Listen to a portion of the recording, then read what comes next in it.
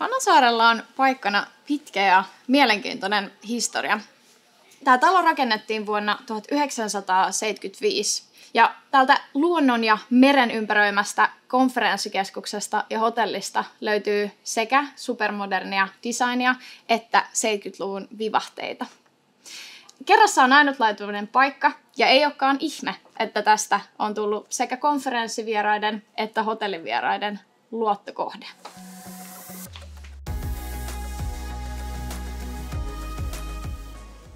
Moikka Milla! No moikka! Kuule, sun kokemuksen perusteella, mikä sä sanoisit, että on Hanasaaren vieraiden sellainen lempipaikka? No kyllä mä sanoisin, että meidän uima-allas. Uimalla se saunaosasto. Kyllä. Pitäisikö me mennä käymään siellä? No mennään. Suomen ja Ruotsin saunakulttuureissa on ehkä pieniä eroja. Mites, saako täällä Hanasaaren saunassa heittää löylyä? Joo, saa totta kai, mutta sitten myös saa olla heittämättä. Eli todellinen kulttuurien kohtaaminen.